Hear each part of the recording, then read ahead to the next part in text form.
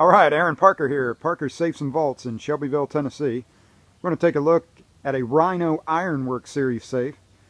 This safe right here is the biggest one they make. It's the Ironworks 7256. It's 72 inches tall, 56 inches wide, 27 inches deep.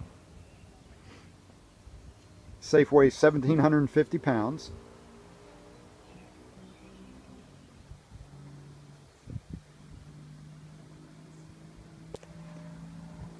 This has a Sargent Greenleaf Group 2 dial lock on it. You can also get them with an E-lock. Safe is made in the USA, made in Idaho. Has a 90 minute 1200 degree fire rating.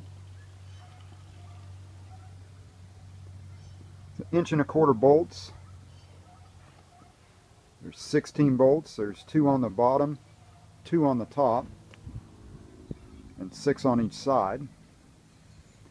These are all active bolts as well.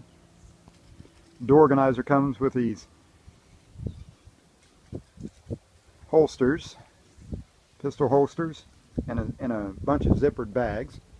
The holsters are um, lined on the inside with a nice soft fabric there.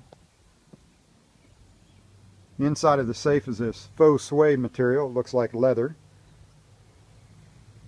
Little brass buttons on there, kind of dress it up a little bit. All the shelving is adjustable, with the exception of this upright post here, this centerpiece.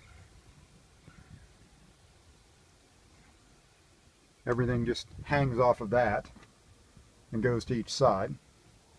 Safe will hold about 57 long guns if we used both long gun dividers here. Those are provided. And they do give you enough shelves to make it just all shelves if you were so inclined. The body on this is 10 gauge steel. Have two fire seals on this safe, one on the door and one on the frame, so they kind of uh, meet up at opposite angles.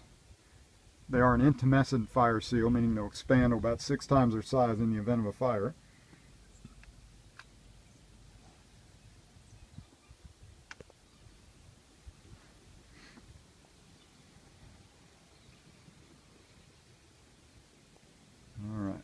This door shut here.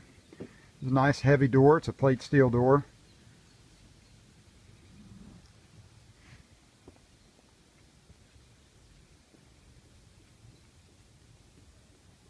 So there you go. Rhino Ironworks 7256. Thanks for having a look.